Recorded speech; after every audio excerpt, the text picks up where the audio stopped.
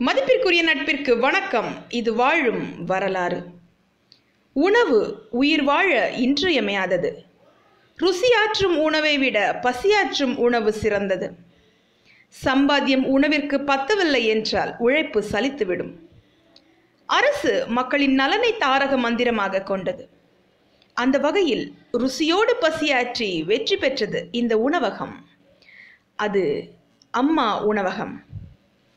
அம்மா உணவகம் என்பது தமிழ்நாட்டின் தலைநகரான சென்னை சென்னை மாநகராட்சி மற்றும் தமிழகத்தின் அனைத்து மாநகராட்சிகள் மூலமாக இயங்கும் மலிவு விலை உணவகத்திற்கு இடப்பட்டுள்ள பெயராகும்.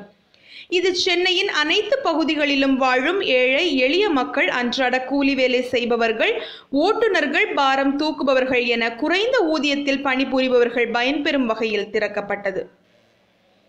சென்னை மாநகராட்சியின் திட்டமான மலிவு விலை உணவகம் திட்டம் இரண்டாயிரத்தி பதிமூன்றாம் ஆண்டு மார்ச் பத்தொன்பதாம் நாள் சென்னை சாந்தோமல் முதல்வர் ஜெயலலிதா அவர்களால் துவக்கப்பட்டது. அதே நாளில் பதினைந்து இடங்களில் மலிவு விலை உணவகங்கள் செயல்பாட்டிற்கு வந்தன.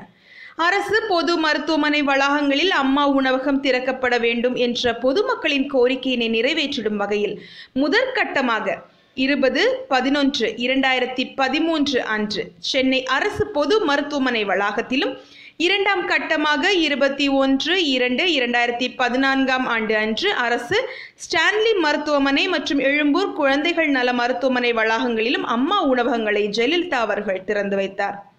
இந்த உணவகங்களில் இட்லி ஒரு ரூபாய்க்கும் சாம்பார் சாதம் ஐந்து ரூபாய்க்கும் தயிர் சாதம் மூன்று ரூபாய்க்கும் விற்கப்பட்டன.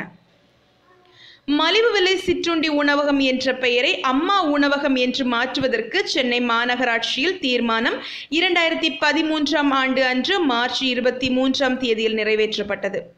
அப்போது மலிவு விலை உணவகங்களின் எண்ணிக்கை எழுபத்தி மூன்றாக உயர்ந்திருந்தன. சென்னை மாநகராட்சியின் சார்பில் நூற்றி இருபத்தி ஏழு அம்மா உணவகங்களை ஜெயலலிதா அவர்கள் திறந்து வைத்தார். இந்த நிகழ்ச்சி காணொலி காட்சி முறையில் நடைபெற்றது. இதன் மூலம் அம்மா உணவகங்களின் எண்ணிக்கை இருநூறாக மாறியது. சென்னை மாநகராட்சியை தொடர்ந்து மற்ற மாநகராட்சிகளுக்கும் இத்திட்டம் விரிவுபடுத்தப்பட வேண்டும் என்று சட்டசபையில் ஜெயலலிதா அவர்கள் அறிவித்தார். தமிழகத்தில் அமைந்துள்ளது போல் ராஜஸ்தான் மாநிலத்திலும் மலிவு விலையில் உணவகங்கள் திறக்க முடிவு செய்யப்பட்டது.